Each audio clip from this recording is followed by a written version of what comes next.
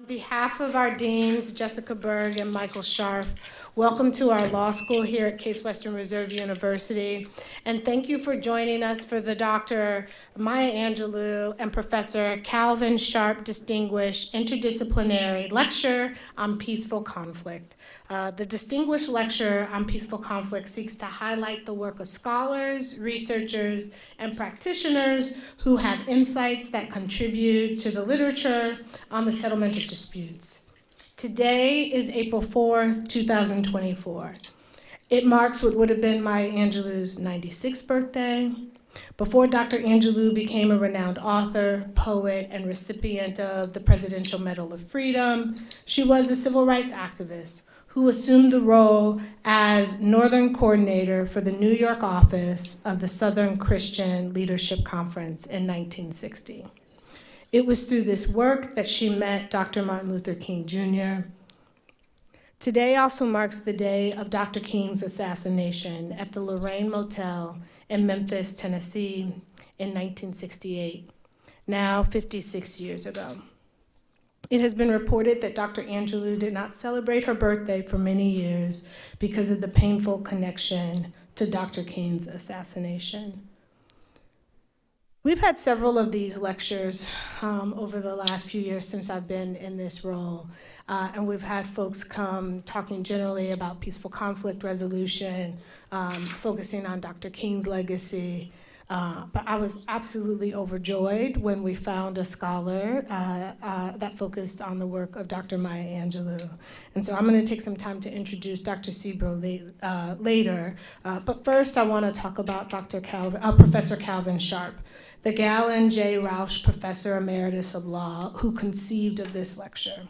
Professor Sharp retired after 30 years on the Case Law School faculty and was a valued colleague to many. He was also the professor who taught me employment law. um, and it was a joy to have him in the classroom. His daughter, Dr. Adrian Jones, is here with us today, and I'd like to invite Dr. Jones down to share a few words about her dad and um, his legacy.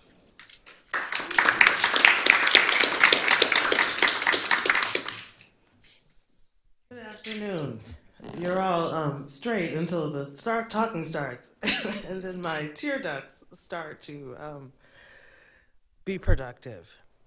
Um, you know, I'm here. Whew, I'm here to represent my dad. He's been ill for quite a long time, um, but maintains his personality and his sense of humor.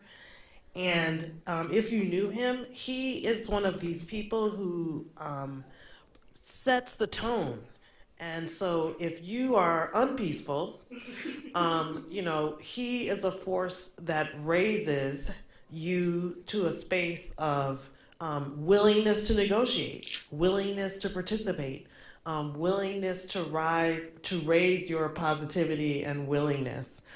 Um, and that continues uh, till today. Uh, we were just talking about the um, ability to have someone who actually focuses on Maya Angelou. Um, when I get a chance to tell my father about this, um, he's going to be thrilled. Um, and Dr. Bell Hardaway, um, the fact that you have been procuring this lecture um, pleases him greatly.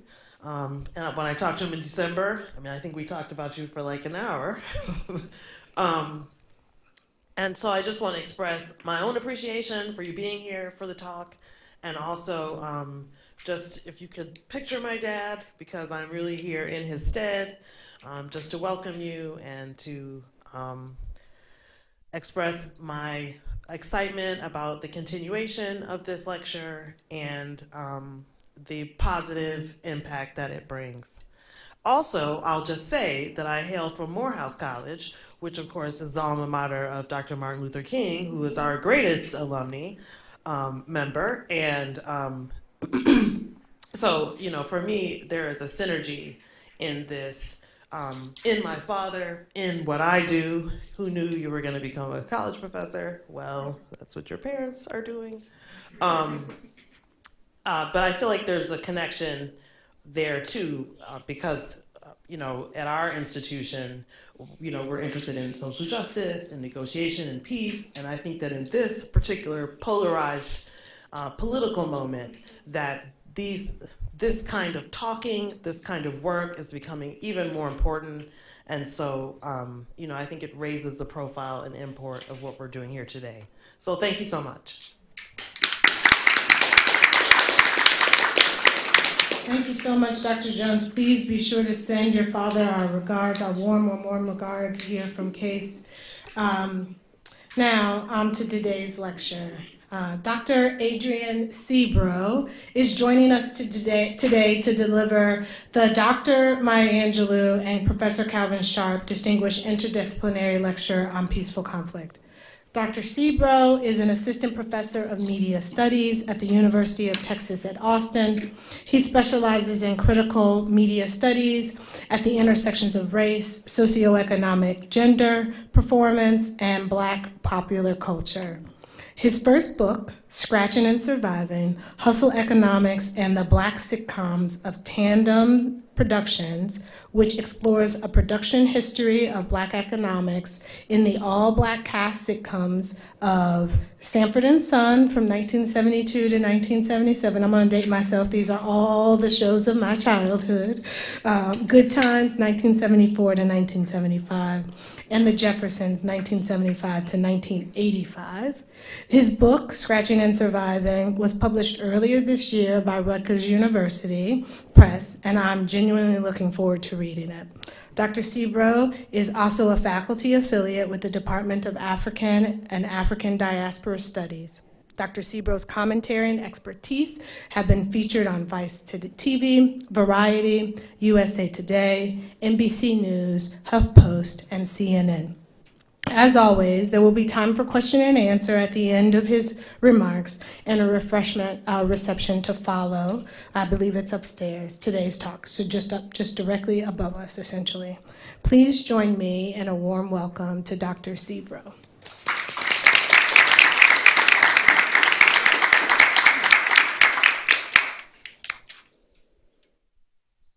get myself together.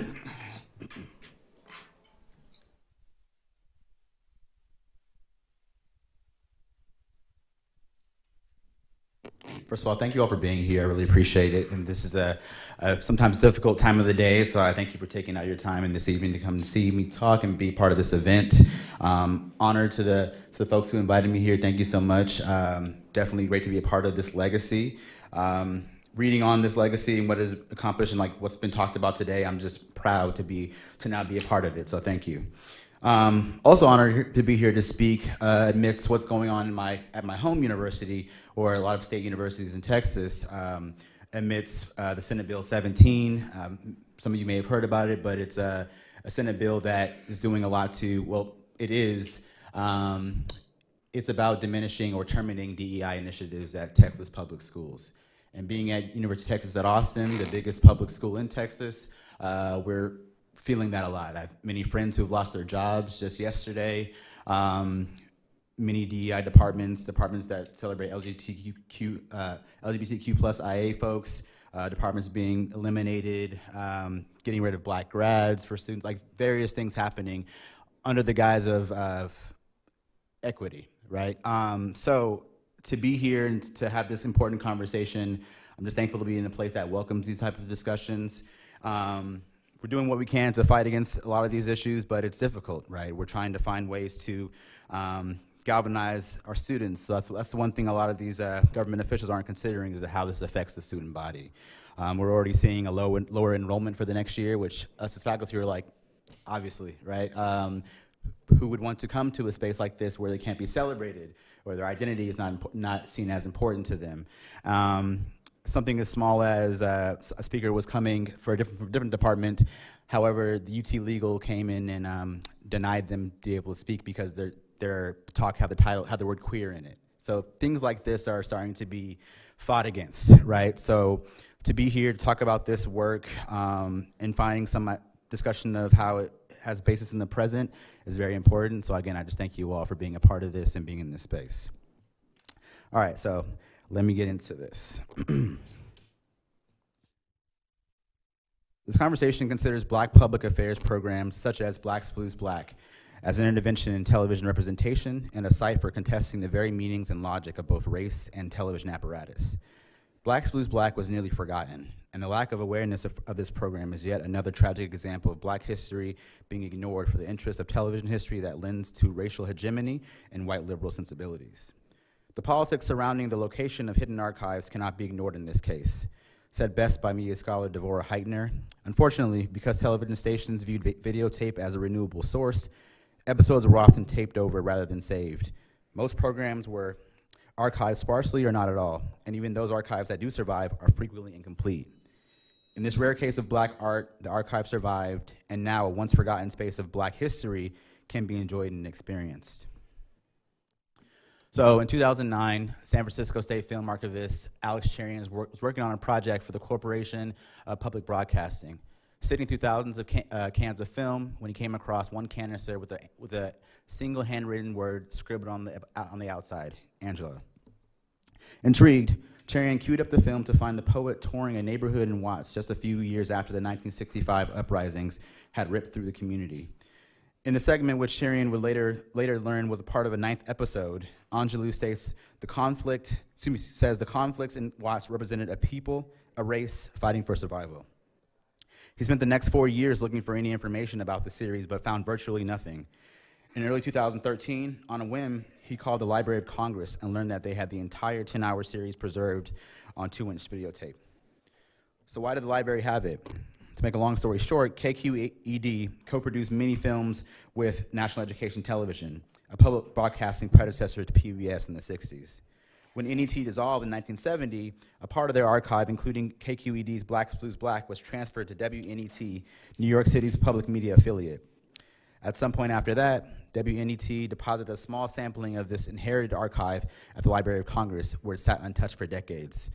So, with this um, untouched um, item an archive of media history, Angelou herself passed away without ever, ever even seeing the show again because once uh, the show ended, uh, the history of his archives were kind of pushed across, pushed away, and lost for decades. So um, I was thankful when I found this, uh, found out about the show in 2018. Um, many of the many of the episodes were finally just digitized. Um, so thankfully, when I found it, I realized that no one has seen this before. No one has written about this before. Uh, this virtually has been unseen and talked about since 1968. So um, this paper took a lot. I started in 2018, and it wasn't able to be published until about because you know I had COVID and quarantine to it. It wasn't able to be published until 2021. So I was thankful that I was able to bring uh, bring my voice out and bring this work to um, to the public's eye because I think it's extremely important for this not for this to not be forgotten. So first, I'm going to foreground some TV history and why I think this is so important to exist in this space. So um, in 1955, 1960s, television was, was a hugely important um, new technology for how folks were going to navigate the world. It was meant to be the space where film was, the, was considered the racist space, when television was meant to be a space uh, to promote liberal sensibilities and uh, freedom for everyone. So the FCC, the Federal Communications Commission, uh, pressured networks to offer programming that served the public good. And part of that pressure was a large speech called the Vast Wasteland speech by the FCC chairman, Newton Minow. So the FCC, the Federal Communications Commission, was created by Congress through the Com Communications Act of 1937 for the purpose of regulating interstate and foreign commerce in communication by wire and radio so as to make available so far so as far as possible to all the people of the United States without discrimination on the basis of race, color, religion, national origin, or or sex, a rapid, efficient, nationwide and worldwide wire and radio communication service. In this context, the word radio covers both broadcast radio and television. The Communications Act directs the FCC to base broadcast licensing decisions on whether the public broadcast would serve the public interest, convenience, and necessity. The Commission has observed that the public interest is best served by permitting free expression of views, largely following the First Amendment. Right? So, because of this, television was now being pressured to be um, a space that it needs to be serving the public good in some way. Yes, it can entertain. Yes, it can be kind of escapist fare, but part of it is what is being encouraged here needs to be educational. It needs to be able to serve the public in a way that's going to push them forward. So technology advances were a huge part of uh, what's happening in this moment, kind of in the uh, late, early 60s and throughout the, um, the mid 60s as well. Technological advances such as portable cameras um, and longer stints of, of news being from 15 minutes to 30 minutes and onward um, allowed the 60s to be the space where television is changing and the news is changing um, to coincide along with what's happening rapidly through civil right, through a growing civil rights movement. So socially, these civil rights events, um, a lot of precipitated events were like Brown versus Board of Education, for instance, where many states were still, you know, denying um, denying um, inclusion of segregated um, uh, school spaces right? So all of these different social events happening on TV live were hugely important and to the ratings of television to see America kind of uh, racing to figure out what's going to be next and how politics and um, policy is going to be shaped through television. So these mass boycotts and nonviolent dis civil disobedience was captured on television, and TV became this new arbiter of social life and progress. So television, again, played a major, major role and it brings efforts and violent backlash to, to national audience. So part of television, part of uh, seeing these um, violent backlashes, specifically racial ones, particularly against black bodies, um, was part of television communicating what's happening across the world. Largely what's happening in um, Jim Crow spaces throughout the South, um, communicating that in more, more liberal spaces in the North, but largely any, uh, everywhere throughout the U.S. where um, it may have been more understood, accepted, and more of a way of life in the South, but segregation and racist acts of violence were happening everywhere. Television was bringing those things to light to everyone. So Martin Luther King, a lot of folks call him the, the master TV producer in a lot of ways, whereas he realized that TV was the arbiter of being able to bring their struggle to the masses right? Part of, you know, um, if you may have seen the film Selma, right? Part of Ava DuVernay's characterization of television and what Martin Luther King is doing in this moment was to get the violent acts, part of this nonviolent resistance was to get this nonviolent resistance on television because it was a way to grow the fact that realizing that black people aren't the ones who are initiating this violence and this violent outcry. Largely, they're fighting for, in this case, the voting rights.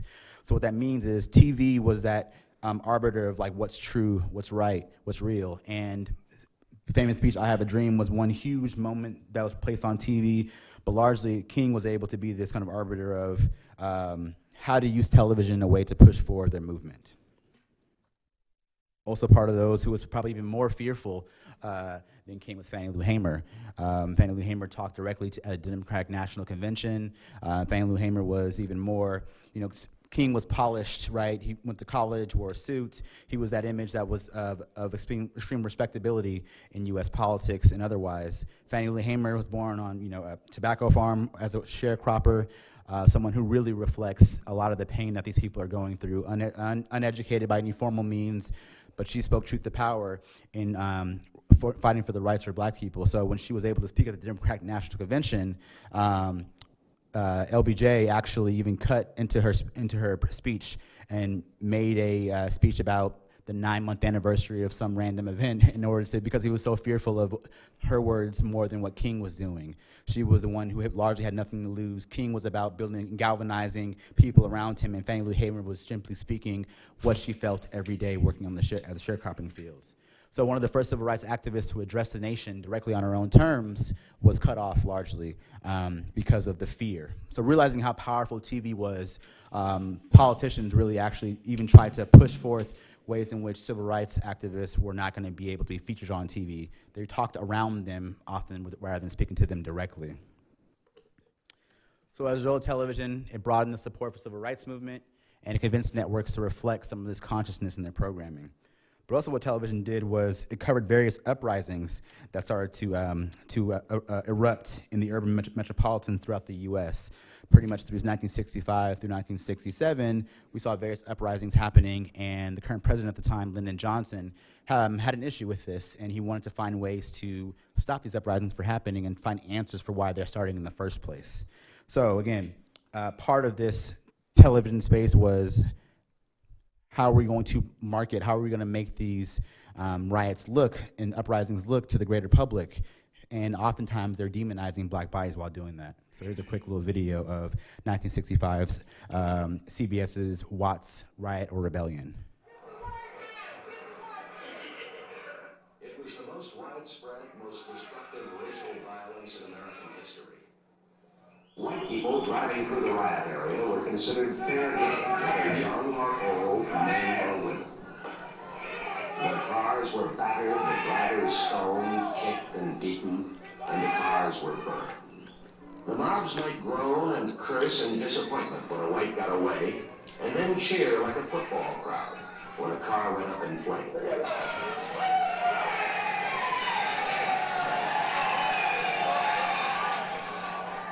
The burning and looting, the shooting and beating went on for nearly a week.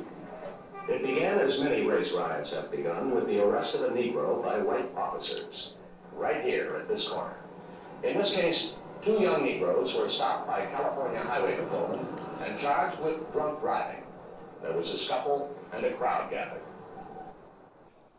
So, ending it there, I thought it was important to just kind of show how the the news was casting these uprisings, right? They're calling it a, a riot or revolt. In the title alone, it's placing blame on, and it's showing uh, and it's demonizing what the black black uh, black folks are going through in this particular neighborhood in Watts, not giving context to the reasons why they are uprising or why it's even called rebellion to them. They're calling it a riot or revolt, right? So these demonizing languages was part of the ways that uh, television worked to cast blackness as other and to cast blackness as violent.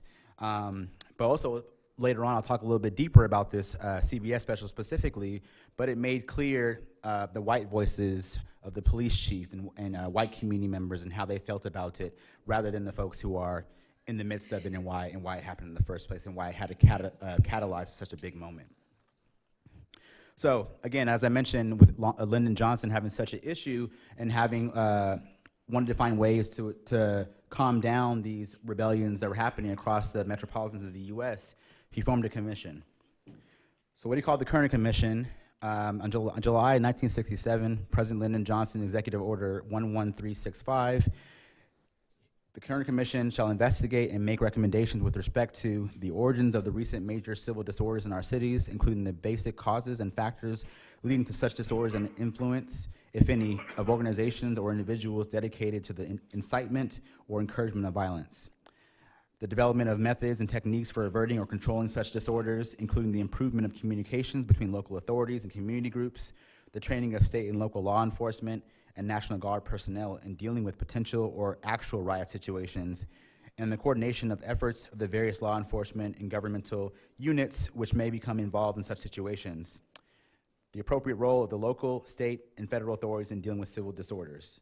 So again, this community, excuse me, this commission of uh, 11 individuals was meant to do research across the U.S. to talk to individuals who are part of these major metropolitan communities in cities like Chicago, uh, Newark, New Jersey, um, and other parts of New York, to really ask why is it that these uprisings are happening, um, how can we fix this? What needs to be done in your, in your community to prevent these uprisings from happening? So, in all, in all intents and purposes, it seemed like a great initiative.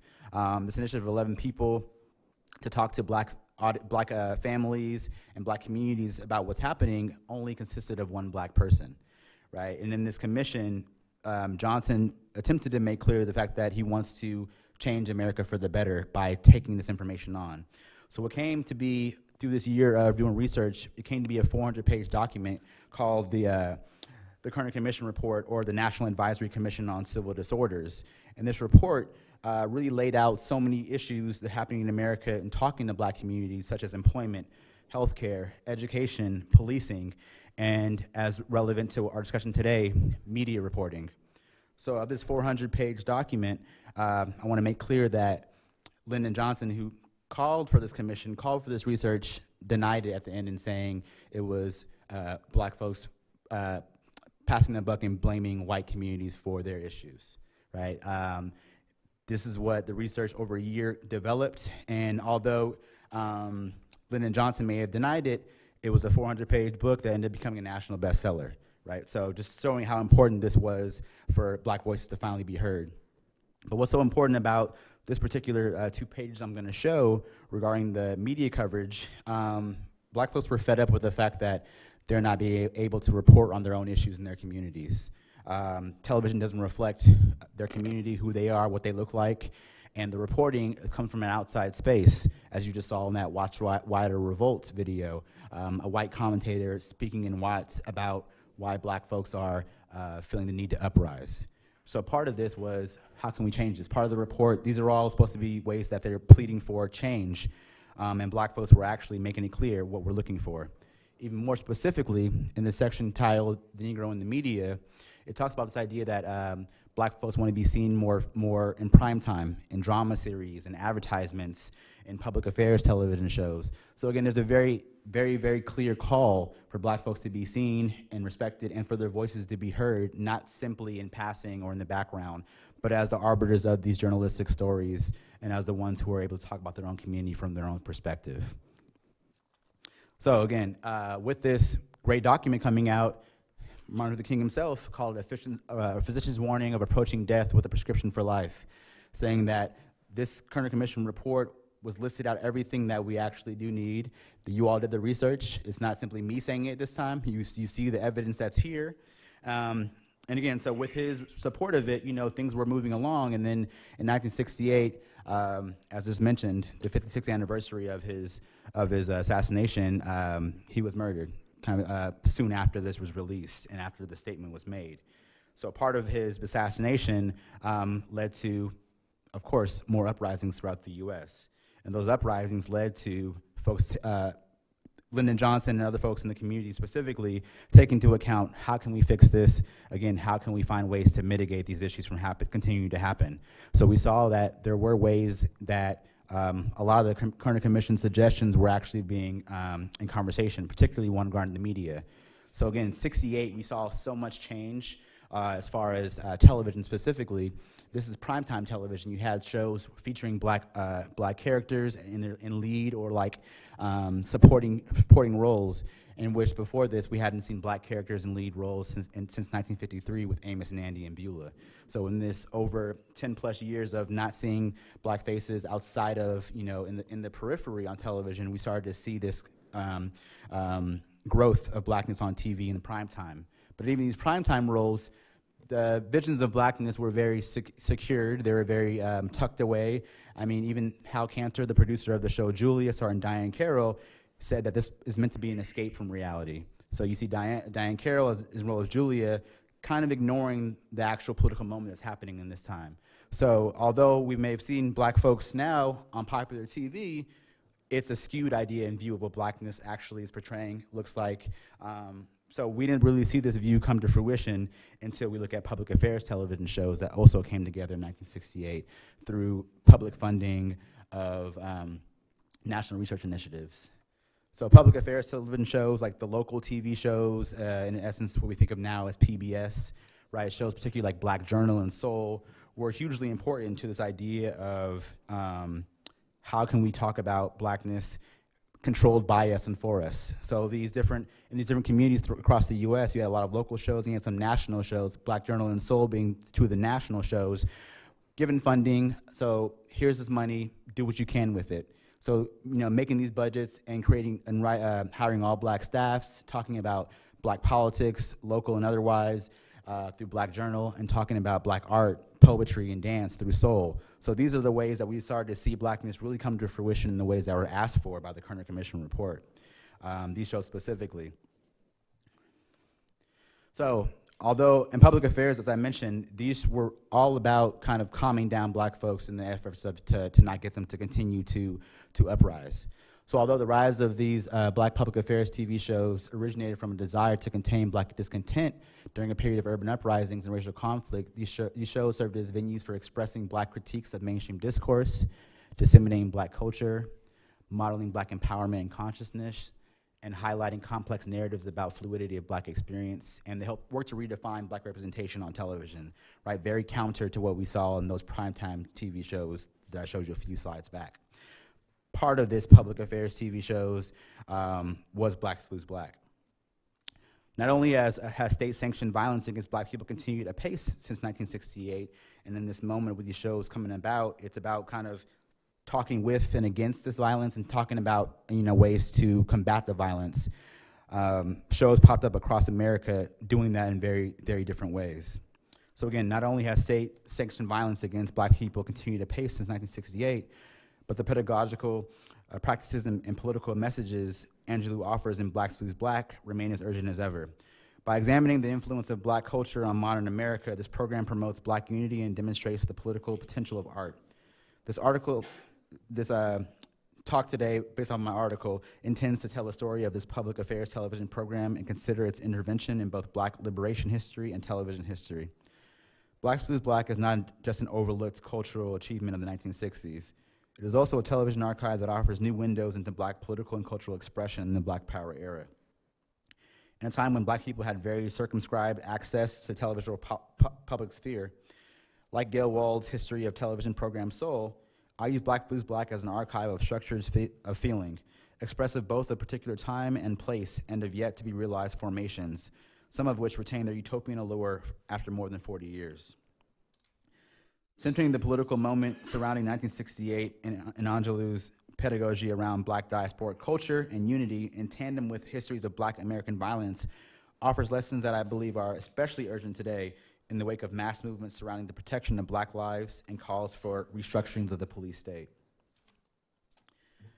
So Angelou, known popularly as an American poet, singer, memoirist, and civil rights activist, Angelou had a keen sensitivity, grace, and depth of knowledge that she brought to exploration of black diasporic life and culture in Blacks Blues Black. She was also able to draw her lesser known work as an actor, writer, director, dancer, and producer for her pivotal I Know Why the Caged Bird Sings book that soon followed the program. Because of archival availability and racial privileging of media studies, this show was a part of her history that is not often noted. Blacks Blues Black is a portal into Angelou's own political education, which becomes clearest when understood within her overall body of work. In her life, Angelou published seven autobiographies, three books of essays, and several books of poetry, and she was credited with a, with a list of plays, movies, and television shows spanning over 50 years. To bring a more connection to today, Angelou became a writer after a series of jobs as a young adult, including as a nightclub dancer and performer, a cast member of Porgy and Bess, a coordinator for the Southern Christian Leadership Conference with Dr. Martin Luther King, and a journalist in Egypt and Ghana during the decolonization of Africa. Her time in Africa helped her, as a native born American, understand the deeply ingrained cultural connection shared between people throughout the black diaspora.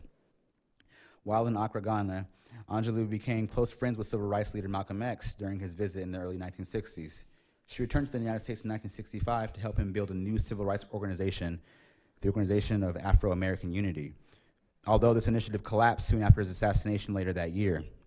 By then, Angelou was living in Los Angeles neighborhood of Watts, and witnessed the destruction caused by the 1965 uprising. The experience emboldened her, and in 1968, when Martin Luther King Jr. asked her to organize a march, she agreed. But then she postponed. Consequently, in a macabre twist of fate, King was assassinated on Angelou's 40th birthday. Devastated by yet another loss of a prominent leader whom she considered family, Angelou fell into a depression from which she recovered by following the advice of her dear friend James Baldwin. He encouraged her to tell her story. The wake of such tragedy made way for black discontent to be exhibited in television space. The pressure of years of uprisings and the wave of fear and remorse following King's assassination prompted some media executives to return to the findings of the Kerner report and begin to act on some of the recommendations. While interviewing various black writers across America, producers from San Francisco based KQED met Angelou at her home in New York City. The producers explained to Angelou that it was past time for their television station to do some programs on African American culture and history. And given Angelou's time living in Africa, she might be the very person to put it together for them. Upon the start of the series, Angelou was asked how she intended to sum up the experience of racial frustration in one all encompassing show. She replied, No people can ever begin a constructive position program, excuse me, constructive positive program for the future without understanding the achievements of the past. You can't see where you're going unless you know where you've been. In the spirit of critical pedagogy, Blacks Blues Black took as its premise the recognizing diverse black experiences was crucial for realizing the aim of black liberation. Angelou later notes, um, before the start of the show, I'm trying to instill an understanding of Negro heritage in those who don't know it or understand it.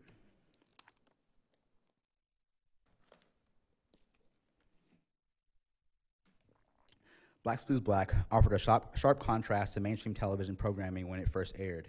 At the time, primetime network television shows starring black actors often marginalized, maligned, or ignored black communities and pathologized black cultures and families. At a time when the increasing visibility of longstanding racial tensions opened up a new space for black television, Angelou's voice and artistry corrected for these narrow representations, educating all willing viewers about the multiple and varied experiences of black people and communities. So, as a, a 10 part, a 10 part series of hour long episodes, the show celebrated the connections between blues music, black Americans, African heritage, and what Angelou called the Africanisms still current in the US. The series was produced for KQED's National Education Television precursor of the Public Broadcast, Asso- excuse me, Public Broadcast Service, and featured episodes on African history, art, Africanisms, positive and negative behaviors, music, education, business, and violence in the black American world. Although the program explicitly addressed black culture and viewers, it also offered history lessons and made political connections explicit for everyone. Angelou deliberately situated the topics it explored as common to black people in many regions and nations. The program proposed that black viewers should consider themselves part of an emerging black world wherein all regions of, of black America, as well as Africa and the black diaspora, were vitally, uh, vitally relevant. So I'm actually going to show a clip of how the show kind of starts.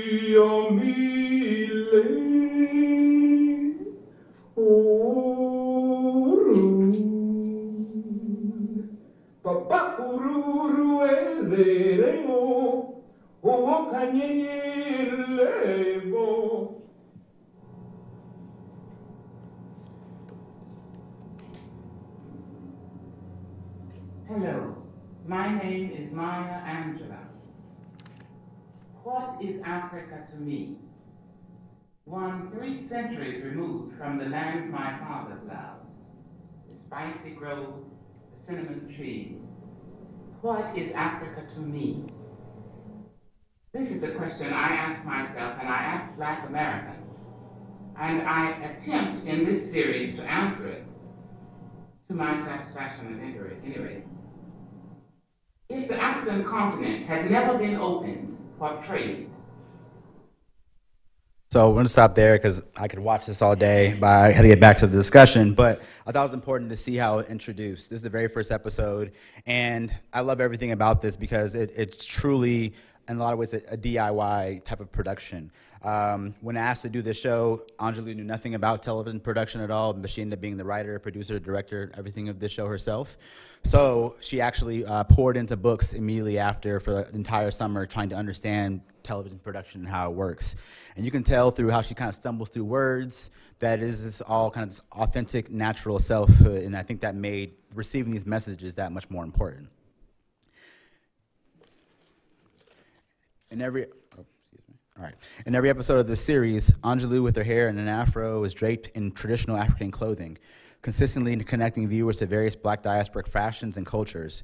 Her clothing varies from brightly colored textiles to abstractly embroidered robes to color, colorful beaded bracelets, dashikis, and necklaces, redefining not only traditional, traditionally accepted television fashion for black women, but also the popular image of what black women looked like on television. The personal image was political, and the po- politicization of hair, bodies, and clothing became an important site to assert black identity and pride. With Angelou speaking directly to the camera, viewers can see her infectious presence on screen. In episode one of Black Blues Black, entitled Positive Behavior, Angelou discusses games played in Africa by adolescents, and she demonstrates the various ways in which children use all of their limbs and create songs. She then cuts to a group of black children in San Francisco uh, outside of this the, the built studio set playing the game Hokey Pokey. Angelou considers instances like these as African crossovers into the black American psyche, not only in the rhythm, but also in the tonality and the joy. These crossovers serve as proof to the, uh, of the cultural and historical links throughout the diaspora that Angelou believes are still instilled in all black people, whether they realize it or not. Using music, dance, art, and education, Angelou works to prove that although blackness is fluid, experiences throughout the diaspora act as connective tissue for all black peoples.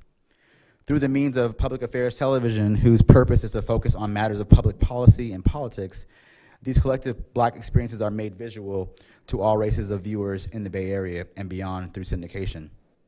Angelou's production, aligning with the, with the calls of Kerner Commission report, was meant to teach these valuable lessons to all communities so that they might appreciate, understand, and build community about the complexities of the black American experience and psyches.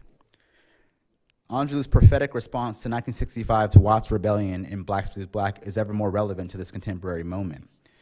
In 1965, the CBS reports documentary Watts Riot or Revolt, the clip I showed earlier, represented a crucial moment in national television programming as it called attention to the cause, effect, and ramifications of the Watts uprising, as I call it.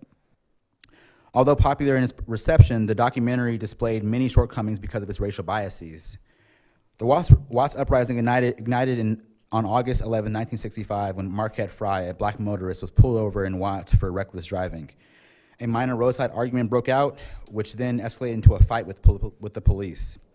Community members reported that the police had hurt a pregnant black woman during the altercation, and six days of civil unrest followed.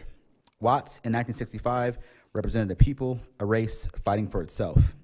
Given the history of police harassment toward the larger black community in a radically underfunded and underserved Watts neighborhood, this represented a moment of black rebellion. In episode nine, one of the, the final episodes of um, Blacks Blues Black, entitled Violence, Maya Angelou speaks truth to the aftermath of Watts Rebellion and, and violence in the American, black American world as she visits Watts again just three years, three years later to talk about the gain, the positive gains of, uh, of Watts after its uprising. At the, beginning, at the beginning of her episode on violence, Angelou states, I dedicate this program to the memory of Malcolm X, Martin Luther King, Denmark Vesey, and to Dr. Du Bois, to the men and women who are nameless, whose names have not come down from the centuries, of, but whose blood, whose agony we inherit. This heartfelt dedication makes it clear that Angelou is not only speaking to the violence against black people, but also bridging the centuries of anguish, turmoil, and the precarity of black lives as linked instances of violence in a world of racial hegemony. In the way that these present, present uprisings due to the violence against black people have led many to attempt to educate themselves on the histories of racial injustice in America through books and media, through Blacks Blues Black in 1968, Angelou is also having these conversations through literature and her media, presence and performance. Angelou speaks to the troubling reality that many people outside of black community claim to have a lack of understanding about American traditions of racial hegemony. To such a claim, Angelou faces the camera directly and asks her audience in a self-reflexive moment, in a country where the communications media has its tendrils in every home, every thinking in every level, how is there a lack of communication or a lack of understanding of what has happened? Through poetry, table reads, stills, moving images, and interviews throughout the episode, Angelou discusses violence politically, socially, and artistically. The episode features Angelou touring Watts, again, just three, three years after the uprising, with riot expert and educator Mary Jane Hewitt, who's seen the, uh, the top image next to her. Looking for evidence of gains and positive developments since 1965 uprising and celebrating the breakthroughs that community has made since. While touring the Watts Community Festival, Angelou speaks vehemently on self-determination and pride of Watts' black community and its efforts to rebuild and grow after the uprising triggered by the unrest excuse me, by the unjust authority of the police. With the opening of the Watts Cultural Center, a skills center for job placement, doctor's office, and social service buildings, many new spaces for community welfare and social development were, were now local to Watts citizens, and beforehand, the closest um, hospital to Watts was 10 miles away. The rise of these new spaces was a direct response to the spatial and racial segregation that caused members of the community to rebel in the first place. Watts was seemingly becoming a community that was finally benefiting from, from county funding, support, and attention. Arguably the most important moment of her time in Watts is when was, was when Angelou interviews members of the community on camera and allows them a chance to speak for themselves, freely, opening without reservation. Whereas CBS's uh, documentary, white mainstream television documentary, uh, Watts Riot or Revolt, took a heavy handed and biased approach to the cause and effect of the uprisings, but by mainly interviewing white correspondents and police. Black Blues Black is righting the wrongs of that account by allowing those it impacted the most, black people, a voice and platform. While speaking on the hostility that many black people in America have experienced, Angelou makes clear that this angst has grown because the black person has always been pictured as either subhuman or superhuman, never just human. We must arrive at the stage wherein we're just human. With her interviews of the citizens of Watts, Angelou is allowing her audience to bear witness to the humanity of these people, whose lives have been historically undervalued and left without a voice. Black public affairs programs in general consciously re rethought mainstream television's tendency to insist that expertise emanates solely from those in power. So throughout this episode, Angelou also relies on her interview with Hewitt. The documenting of this black community and its humanity in Watts is celebrated by Angelou throughout the episode. However, Hewitt claims that although changes in self-determination and increasing black pride of Watts residents are seemingly positive gains, she notes that Without some economic and political progress, I'm afraid that black pride will come to a naught eventually, and the people of this community will be called to rebel again. So although, although the year of 1968 was faced with much turmoil, the movements it created and the artistry it catalyzed forever changed the American political and social climate. Blacks Blues Black was an effort to draw unison among an often divided people. This program is critical to the history of black television as a space meant to educate, inform, understand, and love the shared histories of the black diaspora in a time so fraught with racial uprisings and social and political upheaval. That was purposely meant to place black people at odds with one another. We must know our history to know and take control of ourselves.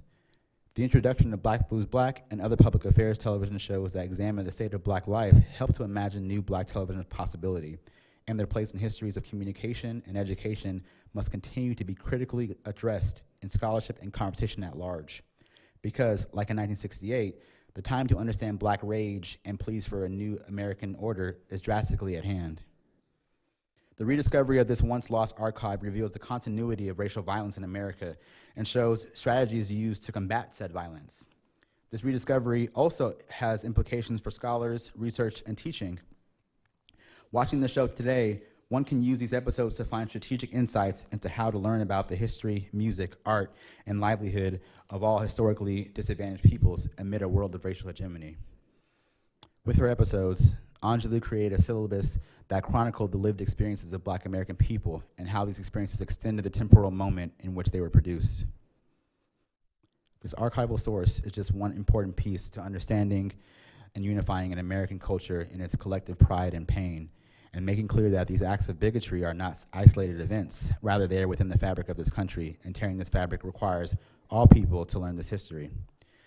Whether you pleaded for names like Breonna Taylor, Tony McDade, Ahmaud Arbery, and George Floyd, or for the countless names of black people whose state-sanctioned murders have not reached national attention, the existence of black people often inherits the agony of their slain sisters, brothers, and siblings. In the same way that these recent uprisings have led many to attempt to educate themselves on the histories of racial injustice in America through literature and media, through Black Blues Black, Angelou is, is also having these conversations through her media, presence, and performance. We must look back to find a way forward. So thinking of things that happened contemporarily following the murder of George Floyd, um, watching Blacks, Blues, and Black, one may be struck with by the fact that in an artifact 50 years ago can feel so immediately consequential. What allows for this timely, timeliness? And how might lessons from the show be brought to bear on contemporary black freedom struggles? Today, in a context where relentless police murders of black people have invigorated the mass movement for black lives, many are seeking answers to the very questions Angelou took up in Black Blues Black. For instance, how and by what means was racism embedded in this country's fabric? Settling of this country, Angelou once noted, was a long panorama of violence. Television has recently responded to this violence in varying ways. So if some of you may remember, uh, of course, after the murder of, um, of George Floyd, many television networks started to now kind of coalesce and talk about caring for black lives and what that means, right? Like hiring of black people um, for the art or finding ways to make it clear that they, um, that they care for black, black lives. And, you know, a lot of it through marketing techniques, um, but there was a lot of conscious efforts around it. So we saw that in this particular tweet we see up there.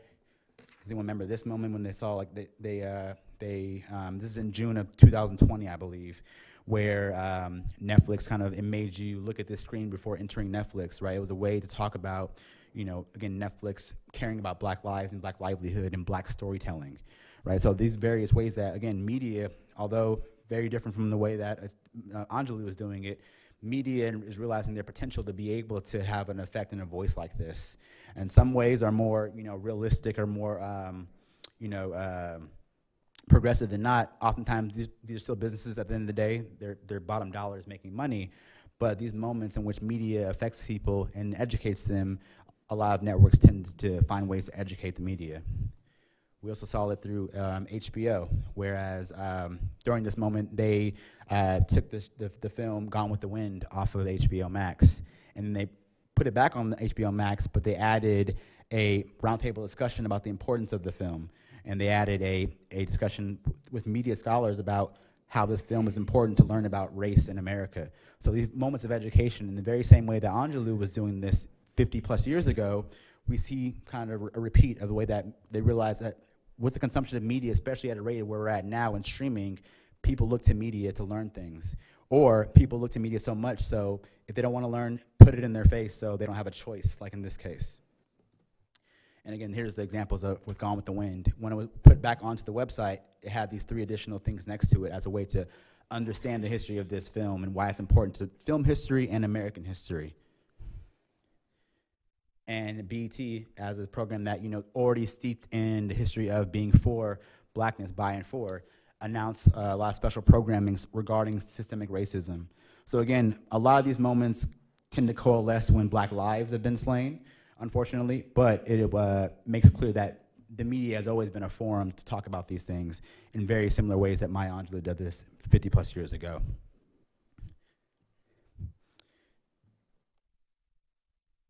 In the streaming era, with the larger global reach of these platforms and homes across the world, world platforms like Netflix and HBO Max have the power and ability to match their words and pedagogy with more forceful content, such as calling attention to legal systems that need realignment, realignment and even more aggressively addressing their own internal executive leadership and hiring practices. If they truly believe that Black Lives Matter outside of watershed moments, the power of these platforms must move more radically to speak truth to their claims of Black Lives Mattering in perpetuity, not simply when they're being slain. Thank you.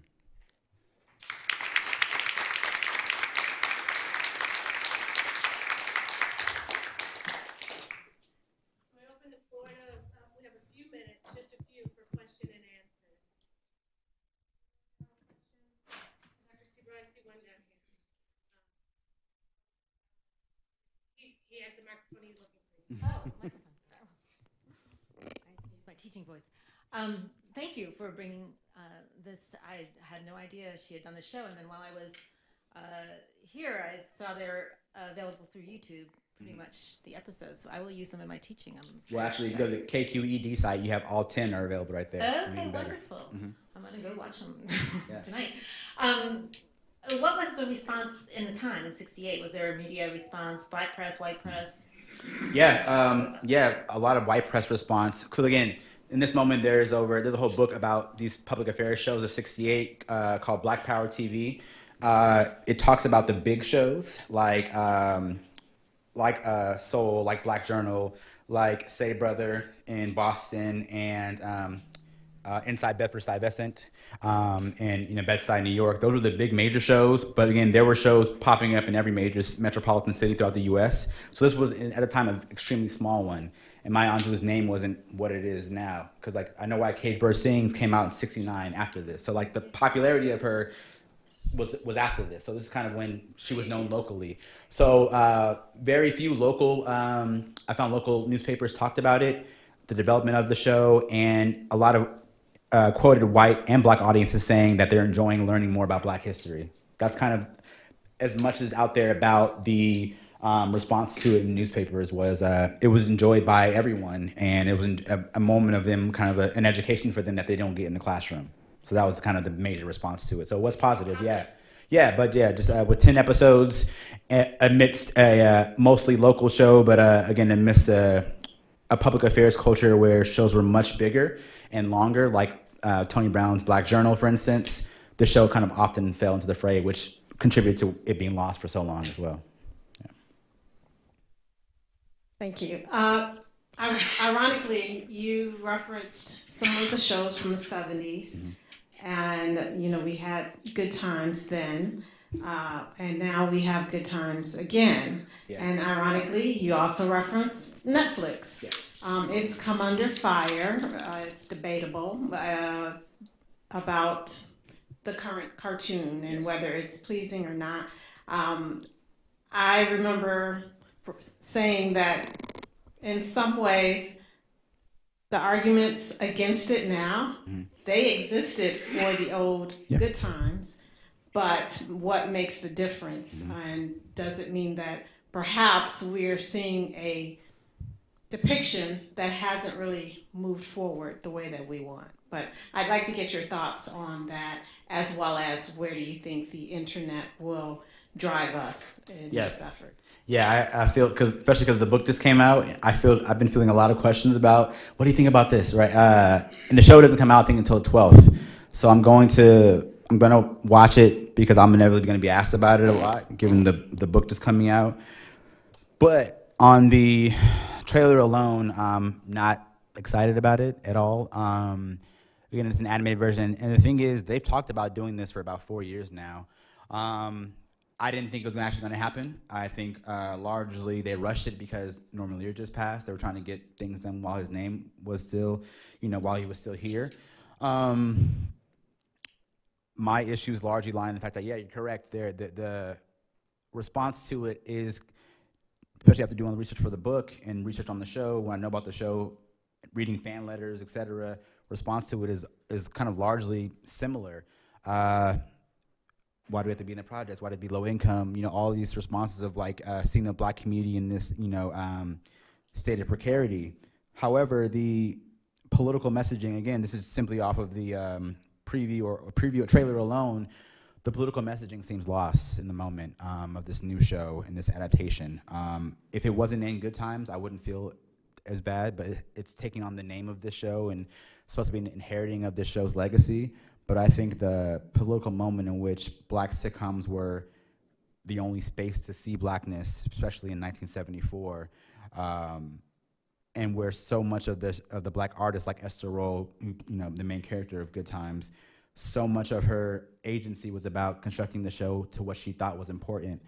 A lot of the political messaging is, is gone, and a lot of the um, discussion of current events and livelihood doesn't seem like it's going to take place in this newer version. So for myself, amidst the issues that folks had with the with the first show, most of the issues came that like how the characters changed over time, J.J.'s character.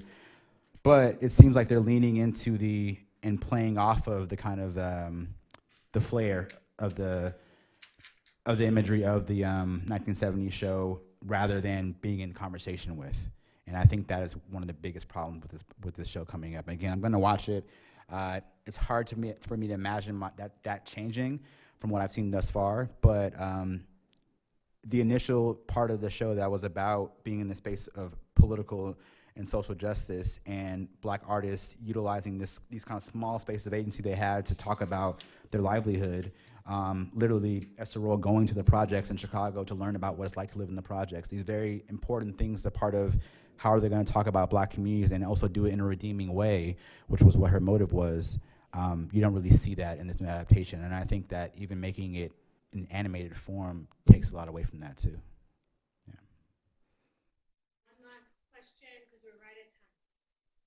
I, just wanted to ask about what your future work, what you're thinking about. Mm-hmm. And I want to say out loud, which I don't know if I've talked with anyone about this, but with Netflix, and my best example is 2016, I always feel like if a film comes out, they balance it. Mm-hmm. So when they air 13, then they put on The Ranch. Yeah. And um, I feel like that continues to happen. Mm-hmm. I wonder, so that's just my commentary. I'm not actually studying it, but I wondered um, if you are thinking about these kinds of issues and what um, are you doing going forward? Absolutely, and in the in the Netflix space, thank you for that question. Um, they definitely do that, and it's a matter of them, you know, all right, let's give something to this particular niche but let's make sure we also release something that is universal because uh, we may we may lose an audience to this niche. No one, a lot of people may not be interested in that, and also too, it's about their bottom line of um, when y'all go on Netflix, you see like the top rated shows, right? How much knowledge do we actually have that those are the top rated shows versus the shows that they want to push up, right? That's why it's part of these strategies. So they're going to publicize this good time show, whether or not it's number one viewing, they're gonna say it's within top three, so it's gonna make you wanna watch it, right? Because what they don't wanna do is, you know, especially with, uh, have, after the passing of Norman Lear, they wanna sell you the name, they wanna make sure that it gets the viewership, the base, and they want to at least, um, show or perform that the numbers support this.